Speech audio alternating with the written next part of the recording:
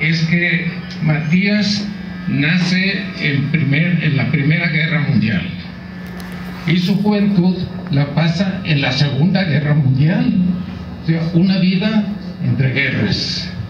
Y especialmente en la Segunda Guerra, en donde vive eh, una serie de vicisitudes, visita Berlín, París, Marruecos, España, etc.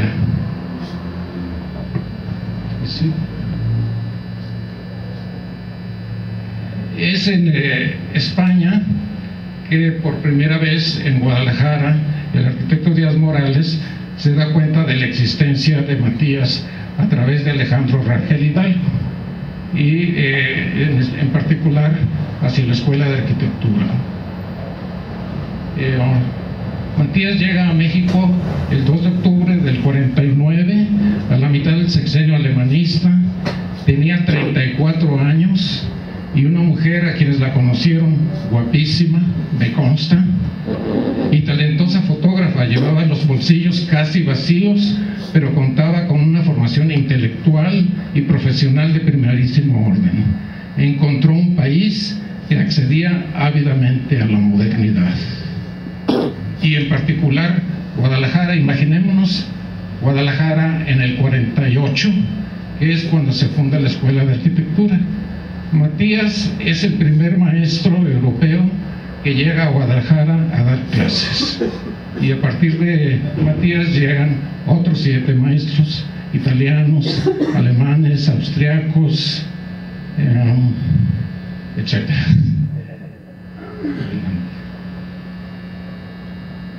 Eh, Matías llega en octubre en tren a la ciudad de Guadalajara.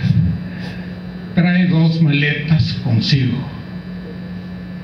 Una maleta intelectual, todo lo que había vivido en París principalmente, un poco en, Suiza también, y una maleta eh, pues, con ropa, etcétera.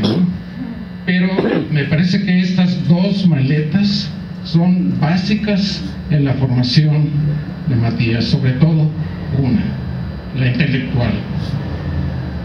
Generalmente habla uno de que el personaje nace en tal fecha, pero a mí me da la impresión de que esta fecha es solamente un parteaguas, es una eventualidad, eh, ya que en el caso de Matías, si nace en 1915, su formación la consigue de maestros que habían nacido a finales del siglo XIX, en 1880, 1890, etc. Y de cualquier manera, estos maestros no los tiene sino hasta que cumple 18, 20 años en, eh, en París, efectivamente en París y ya prácticamente en la Segunda Guerra que había servido para reunir a una serie de artistas y no solo de artistas sino la transformación total del arte. La, la, guerra no solo se rompe toda la sociedad, sino se rompe las costumbres del arte, de, de los artistas y demás, y nacen todos estos movimientos el dadaísmo, el futurismo, el, suprarrealismo, el surrealismo, el cubismo, etc. Esta es la maleta de, Matías Guedes y esta es la maleta que vamos a ver ahora. Kandinsky. Matías Guedes reconoce que la influencia de Kandinsky en él es muy, muy importante. Y si vemos, nace en 1866, o sea que ya tenía en 1915, cuando nace Matías Gueris, ya tenía sus buenos años y había construido toda una teoría sobre el arte. Vamos a ver algo de la obra de Kandinsky a la izquierda y a la derecha obras de Matías Geris. no quiero actuar con eh, tendencias, pero y decir que hubo fusiles como en todos los arquitectos, mucho, muchísimo menos plagio, pero sí hay que reconocer que hubo influencias.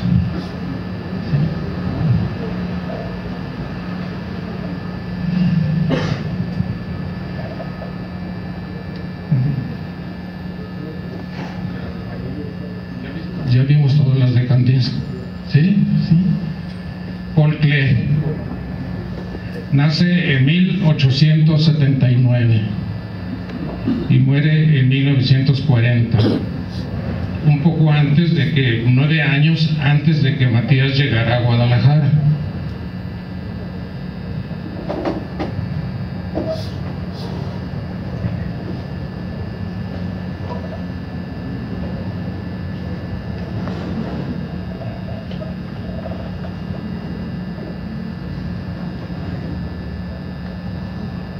Es reconocido también que Matías, entre sus actividades, no solo como maestro, que fue la idea original, eh, participa también en la creación de galerías, de exposiciones un tanto improvisadas, podríamos decir, de artistas que ni siquiera se habían visto en la Ciudad de México, tal cual Kandinsky, Klee, eh, Henry Moore, etcétera. Eh, tanto la obra de ellos como las personas las trajo Matías Gueris a Guadalajara. Picasso también, 1881. Ven ustedes la, la, influencia de, los temas, el, el trazo,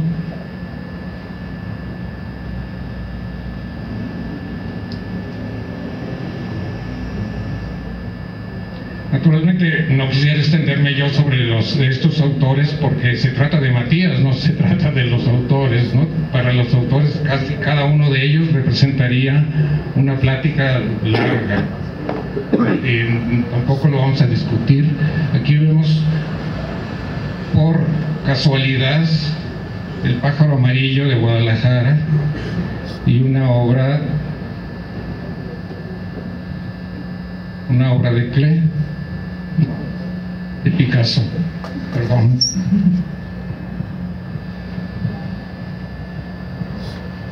Jean Arp.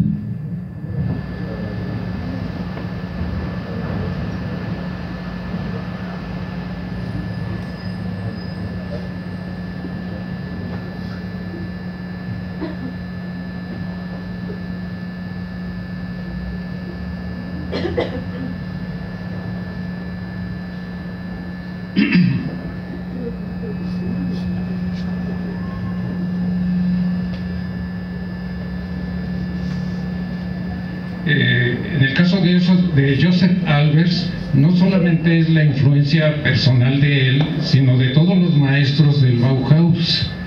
Johannes Sitten, también, Moholy-Nagy, pero sería muy largo enumerarlos y pasar de transparencias de lo que fue su obra. Pero es eh, bien reconocida la influencia de Joseph Albers y, y también reconocida por el mismo Matías.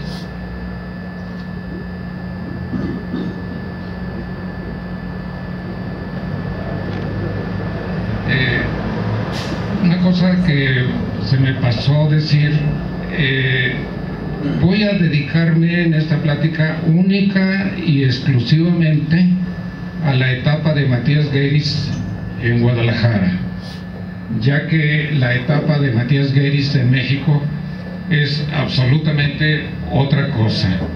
En Guadalajara, Matías Gueris eh, llega en el 49, ya lo habíamos visto, prácticamente cuatro años, del 50 al 54, pero en cuatro años logra lo que no logró después en Guadalajara. En 40 años en el DF, prácticamente la mitad de su vida, eh, fue director de la Escuela de Artes Plásticas, también eh, en la UNAM, en la Ibero, fue muy reconocido, fue colaborador de, muchos arquitectos, de Luis Barragán, de Legorreta, etc. Pero en cuatro años, eso es lo que nos interesa, qué es lo que pasa en Guadalajara, qué fue lo que pasó, si sigue pasando o no también. Esa es una de las dudas que a mí me, me, llegan. ¿no? En el caso de, Calder, eh, lo trae también eh, y la influencia es eh, mucho más marcada, igualmente tanto en los temas como en la forma de expresión, tanto a base de muñequitos, en el caso de Calder, de hechos en alambre y en el caso de, Matías Guedes, solamente de líneas.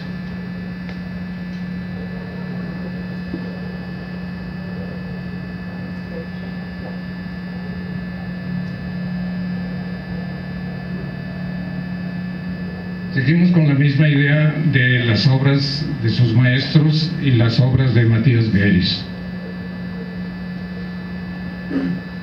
Tenemos en esta imagen los, las grandes, grandes influencias de Matías.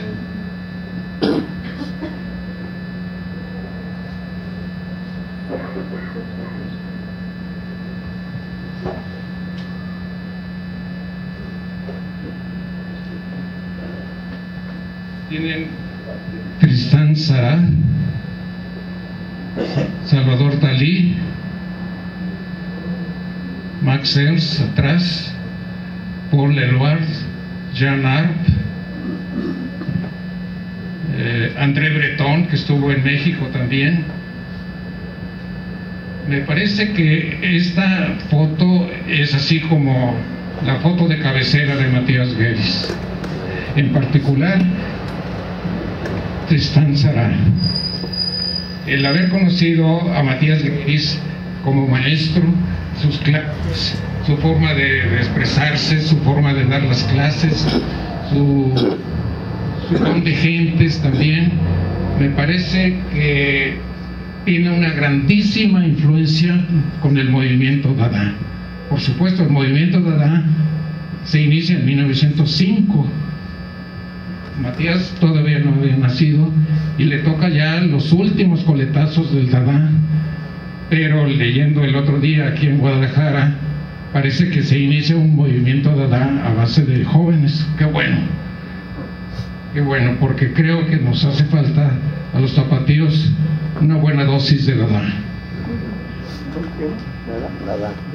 Entonces vamos a ver algo de Tristán Sara.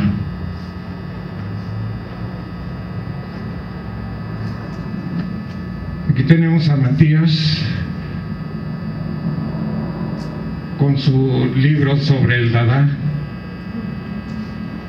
y una sonrisa socarrona, me parece. Esto me recuerda muy bien sus clases, su, forma de ser un poco eh, desfachatada, eh, mentiroso, pero mentiroso con, buen sentido. Eh, Pedro ver que en México ha dicho bueno, es que hay, un, hay dos Matías, el Matías real y el Matías hipócrita. todo esto dentro de la misma tónica Dada. Entonces, veremos qué cosa es el Dada.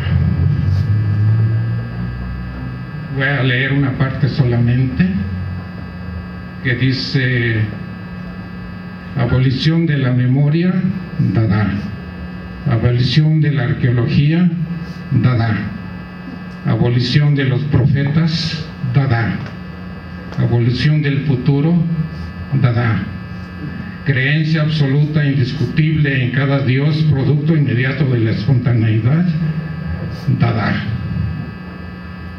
Creo que esto lo resume, pero hay algunas otras cosas más. ¿Cómo hacer un poema dadaísta?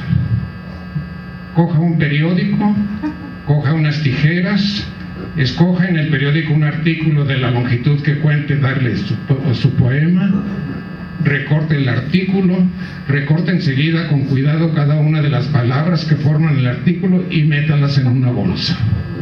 Agítela suavemente, Ahora saque cada reporte uno tras otro, copie concienzudamente, en el orden en que hayan salido de la bolsa. El poema se parecerá a usted. Y es usted un escritor infinitamente original y de una sensibilidad hechizante, aunque incomprendida del vulgo. así era Matías, en realidad. Este es un poema dadaísta de Sara y este es un poema de Matías Guedes. Entonces, si no hay esta influencia, ya no sé qué, va a haber, ¿no? ¿De dónde lo sacó? Naturalmente estos, eh, eh, eh, estos poemas se repiten en el DF. Aquí, desgraciadamente, la ciudad de Guadalajara no realizó prácticamente nada dentro de este tema.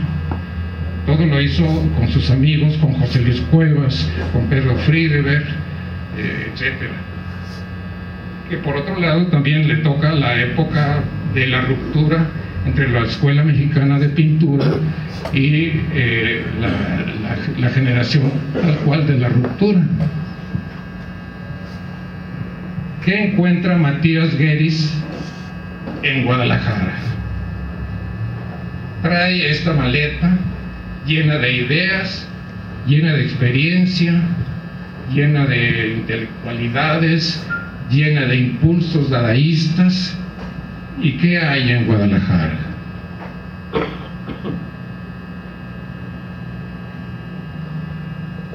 No sé si alcanzaron a leer lo de la derecha. Dice, este es un texto de Lili Kastner. luego de cuatro o cinco días en la capital de la República, los gueris llegan a Guadalajara, Jalisco, ciudad señorial de inflamados crepúsculos color de rosa, albergaba una sociedad de un conservadurismo en ocasiones reaccionario y un orgullo criollo con tintes racistas, así como notable valoración de la artesanía. A pesar de su mojigatería y ambiente pacato, ostentaba buen gusto en la arquitectura urbana y trato amable con los extranjeros yo estoy de acuerdo con, Lili Kastner. ¿Qué es lo que pasa en Guadalajara? A excepción de Clemente Orozco, que había muerto prácticamente un mes antes de la llegada de Matías Gates a Guadalajara, lo que dice Juan José Arreola en este eh, en este eh, preámbulo a, la pintura en Jalisco. Cada vez que digo pintura de Jalisco, en vez de repasar una lista de nombres, cuadros y fechas, veo una enorme, ancha y larga pincelada tendida de cielo a cielo sobre los innumerables azules, que van siguiendo una gama celeste a la grisalla y a los tonos profundos duros, marrones, que de pronto se encienden relampagueantes. Vamos a ver qué se encontró Matías Gates en Guadalajara. 1910, Guerrero Galván.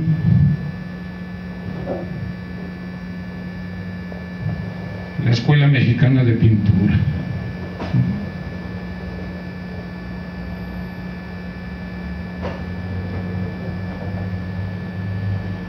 Eh, todavía estamos dentro de un tema eh, muy formal, los paisajes, los retratos, pero cosas que vienen siendo probablemente pues, de mitad del siglo XIX. Y eso es lo que se encuentra Matías aquí en Guadalajara. Salvo en algunos casos como el doctor Ati, pionero del muralismo, es, eh, eh, como decía alguien en, eh, del precisamente Carlos Ashiva, los muros le quedaban cortos. Inventaba, si no tenía la pintura a la mano, inventó el color y fue todo un personaje. Orozco Romero, gran paisajista, retratista igualmente. Un poco ya tendiente hacia el cubismo, ya en 1932. Todas estas obras son de Orozco Romero. Raúl Anguiano, que por cierto nace en la misma fecha, mismo año de Matías Gueris.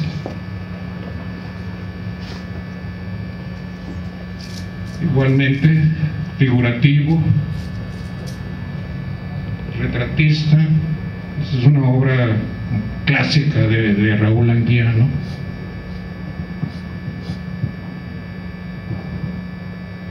Roberto Montenegro.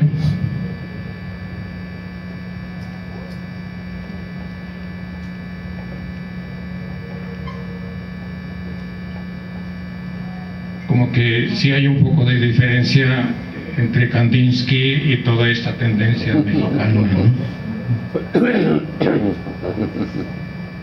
María Izquierdo, Yo creo que me voy a parar allá. gran retratista con mucha influencia posterior eh, Rufino Tamayo, todos estos pintores jaliscienses.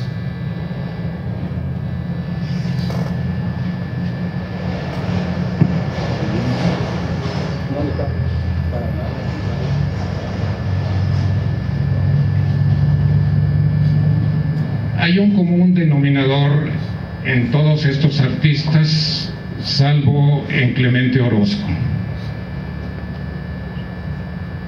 Eh, ese común denominador es que la obra que realizaron fue hecha en el Distrito Federal, no en Guadalajara.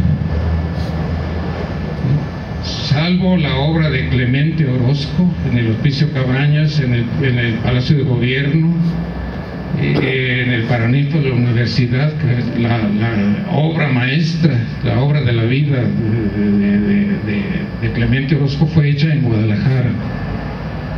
El resto de los pintores, puedo decir que, sin excepción, fue hecha en el Distrito Federal.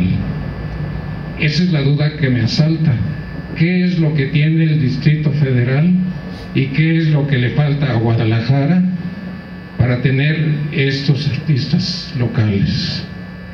Se ha dicho que se perdió la oportunidad con Matías Guedes, pero ¿la oportunidad de qué? ¿Pensaron que se iba a quedar Matías Guedes en Guadalajara toda la vida? los cuatro años que pasó aquí más los 40 del DF se los iba a pasar en Guadalajara haciendo qué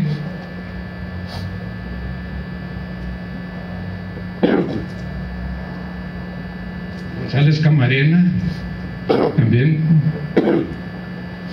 de Jalisco hay cierta influencia en algunos pintores sobre todo del cubismo pero no en ninguna de las otras escuelas.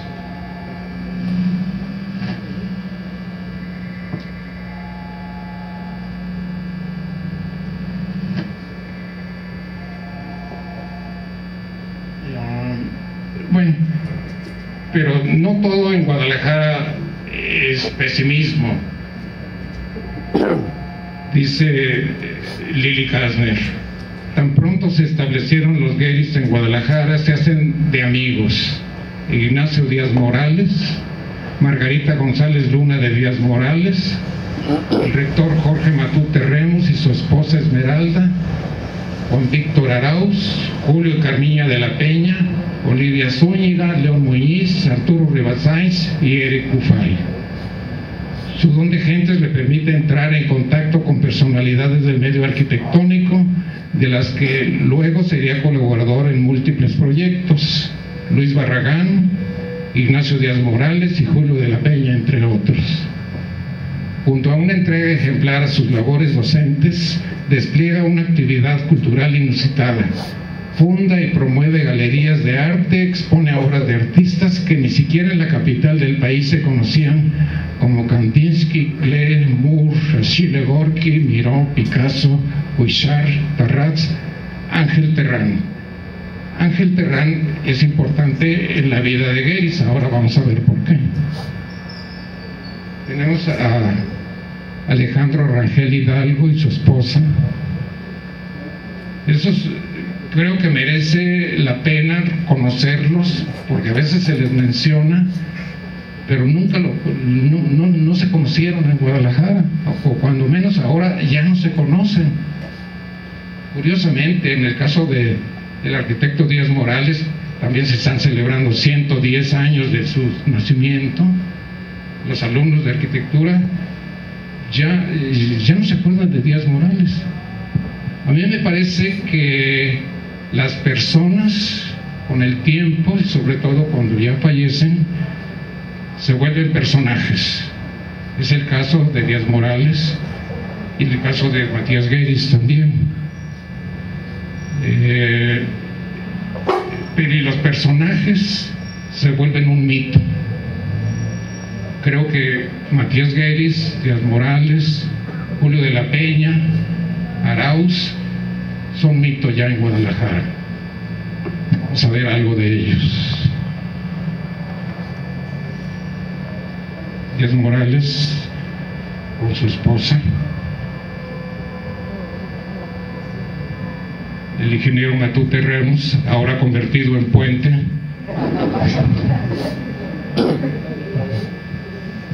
Julio de la Peña.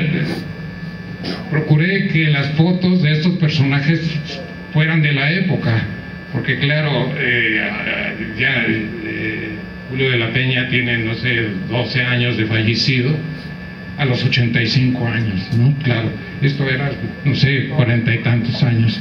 Todos ellos fueron los grandes impulsores de Matías Guedes en Guadalajara. Gracias a ellos, Matías Guedes aguantó cuatro años. Arauz, me parece que somos bastante injustos con Víctor Arauz. No sé si estamos esperando que cumpla 100 años de nacido para hacerle un homenaje. Víctor Arauz fue un gran personaje que también está olvidado. Apoyó a Matías Geis convirtiendo su tienda de fotografía en una galería. Las primeras exposiciones y las primeras obras de Matías Gueris se expusieron en los aparadores de la fotografía de Camarados. Sin embargo, Arauz está olvidado. Creo que es una llamada de atención a los presentes para que Arauz y muchos otros artistas se puedan reconocer. Por supuesto, Luis Barragán, aunque ya a Luis Barragán él ya había emigrado, y esa ruptura ya se había dado con Luis Barragán y con Chucho Reyes también. Pero eh, tanto Luis Barragán como Chucho Reyes impulsan a Matías Gueris en el DF.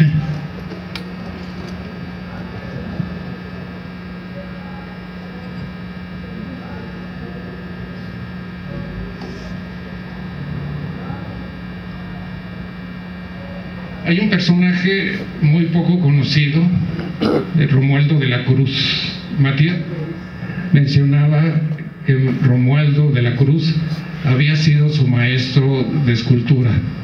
Sí, cierto, pero maestro en el buen sentido. Yo llegué a conocer a Romualdo de la Cruz, un personaje, un grandísimo artesano, excelente escultor, que hacía piezas de indígena cabecitas en madera, de, sabino o de mezquite. Y tenía su taller en, eh, una carpintería y santería, podríamos decir, en la calle de Morelos, que creo que todavía existe esa, esa carpintería. Las, las primeras esculturas de madera, y me atrevería a decir que Todas las esculturas de madera de Matías Gueris las hizo Romualdo de la Cruz. Con base a diseños, es válido. No quiero decir que Matías se valía de él eh, para hacer cosas que no, no sabía. Porque Matías Gueris, cuando llega a Guadalajara, había sido pintor, había hecho en el taller de Ángel Terrán que ya habíamos mencionado, pero eh, nunca había hecho esculturas directas. Esas esculturas se las hacía Romualdo de la Cruz. En la Escuela de Arquitectura se funda en el 48, en el Tecnológico, y empieza a dar clases Matías de educación visual. Así como se hacen grandes reuniones con los arquitectos de la época, eh, José Villagrán, eh, está el arquitecto Cadore, eh, Díaz Morales también, y aquí de espaldas está Matías Gueris. Pero así como se hacen grandes reuniones pensando en el, en el plan de estudios de la escuela, también se hacen bailes de arquitectura, bailes que hicieron época. Y en esa ocasión, en el primer baile, Matías Gueris hace una escultura de sillas que llaman mucho la atención porque era parte de su forma de ser.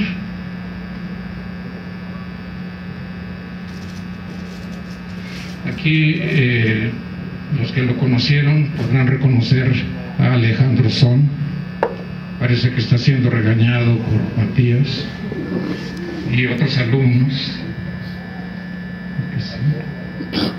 Eh, Julio de la Peña dando clases de dibujo a los primeros alumnos.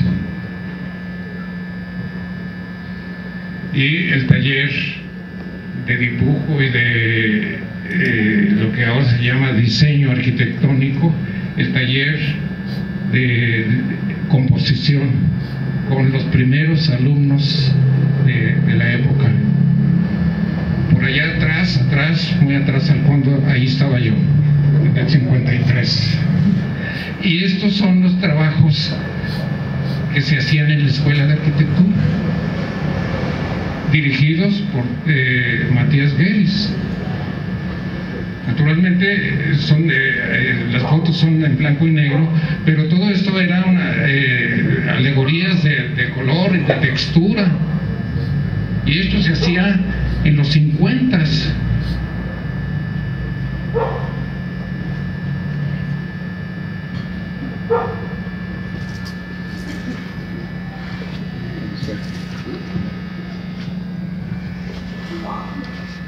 en el eh, eh, se puede decir como un hito de la arquitectura mexicana es eh, la obra del eco de Matías en el DF. Pero a mí me da la impresión de que, si ustedes se fijan, este es un cuaderno de arquitectura de marzo del 54 la obra máxima de arquitectura de Matías Gueris, El Eco, se gesta en Guadalajara, en el 52-53. Increíble. Aquí está muy claro. ¿En qué se basa Matías Gueris para realizar el eco?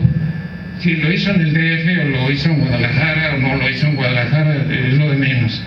Pero en tiempos de la guerra, el cabaret Voltaire en Zúrich, allá a la izquierda, era un lugar en donde se, hacían exposiciones, se declamaba, había música, había danza, era un lugar de, convivencia de los eh, artistas y de la sociedad. Esto es el eco, esto fue el eco originalmente. Estas son fotografías del eco original también. Por un lado, en el aspecto social, me parece que el Café Voltaire es un antecedente del eco. Pero también en el aspecto, tenemos la fecha, 54. En el eh, aspecto físico, espacial, tiene tanto influencias de Max Ernst, de Max Ernst, y este es el plano original si se puede llamar plano, del eco. Entonces creo que los antecedentes de Matías aquí son verdaderamente obvios.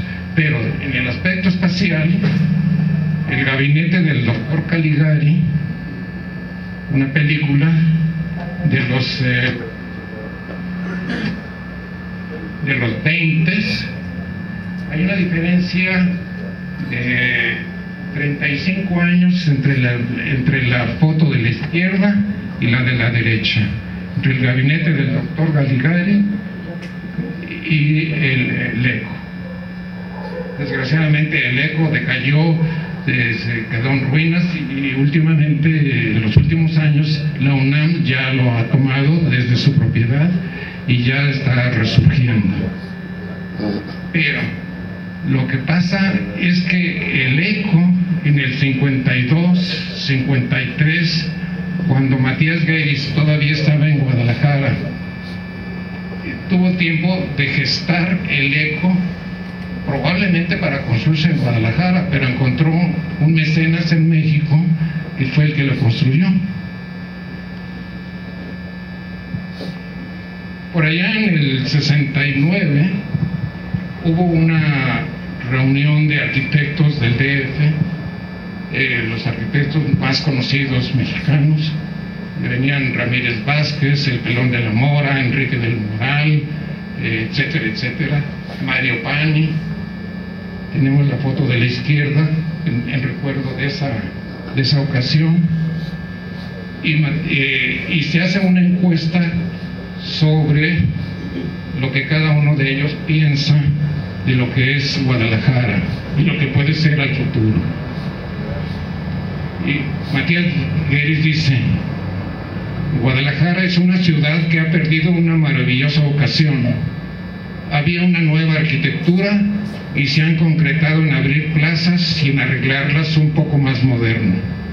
Podían haberse hecho grandes fraccionamientos e inclusive nuevas ciudades al lado de ella. Esta es una idea de Matías Gueris de los 60 creo que esto es vigente todavía.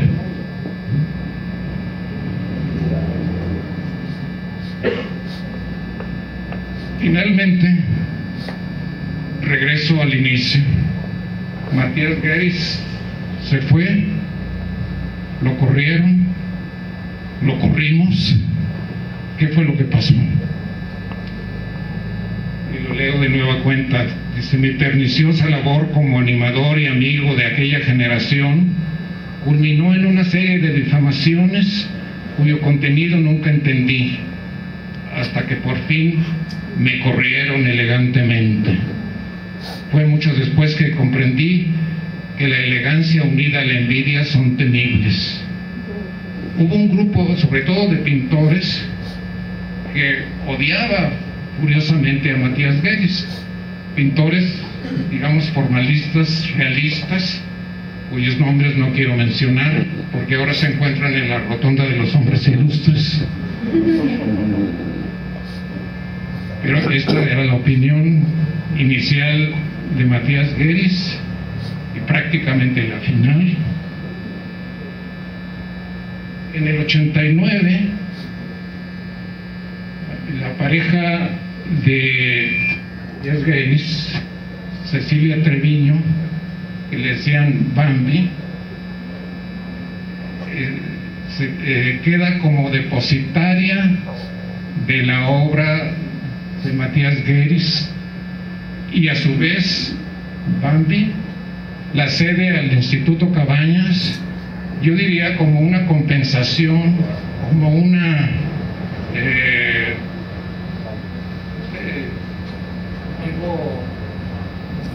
como un gesto último, esto lo, hace un año antes de morir Matías Gueris en el 90, como un gesto de amistad hacia Guadalajara. Entonces, curiosamente, cuando menos yo conozco, esa es la única vez que firma completamente con todas sus letras, porque siempre firmaba como MG. Entonces, ese gesto creo que es muy, muy importante para Guadalajara. Y lo que yo creo es que esta lucha, esta eh, crónica de una ruptura anunciada, termina como un empate. Creo que este empate es bueno para Guadalajara y es bueno para, para Matías. En este caso, en esta lucha, solamente habemos ganadores, nosotros y Matías y la ciudad. Pero esta foto también es eh, de Matías, ¿no? Uno de los pintores que tanto lo atacó, que está a sus espaldas, y Matías burlándose de él. Creo que después de todo, Matías dice, bueno, ahí les va la revancha.